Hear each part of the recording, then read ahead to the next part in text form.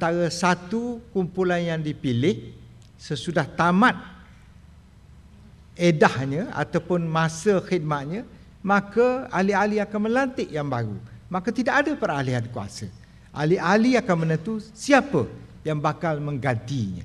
Bukan akan ditentu oleh orang atasan. Ini yang kata orang nombor satu menentukan orang nombor, dua mengganti tak betul.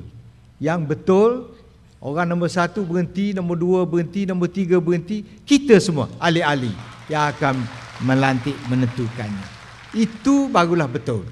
Kalaulah nak body dance sama dia ah, merasa tak aci lah.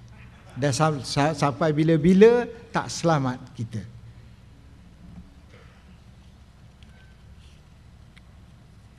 Saya rasa saya dah jawab semua soalan yang telah ditimbulkan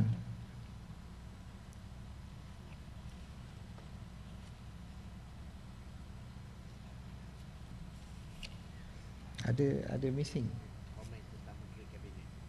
Oh, komen tentang Menteri Kabinet saya sengaja tak nak komen kerana saya rasa tak perlu komen.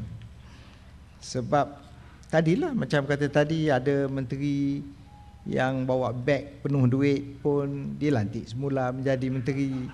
Jadi saya rasa kalaulah ini uh, jenis-jenis orang yang dilantik saya rasa banyak tanda tanya yang akan disoalkan oleh rakyat.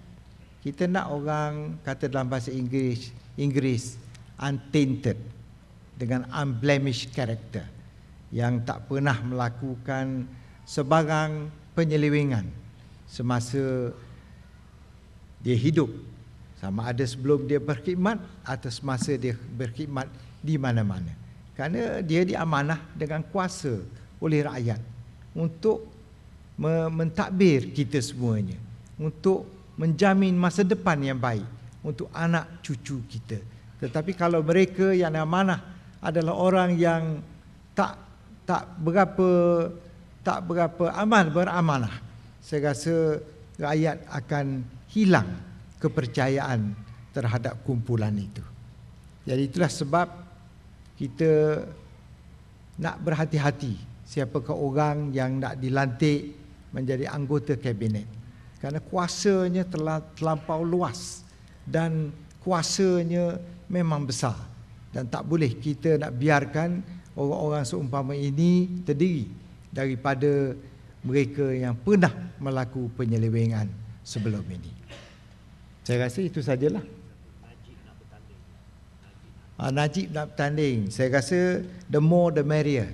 Lagi ramai orang nak bertanding, lagi bagus kerana itu akan memberi pilihan akan memberi pilihan kepada ahli-ahli UMNO yang berhak memilih.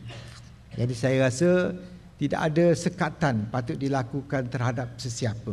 Siapa juga yang menjadi ahli UMNO dengan sah boleh menawar diri untuk bertanding bagi sebarang jawatan dalam parti.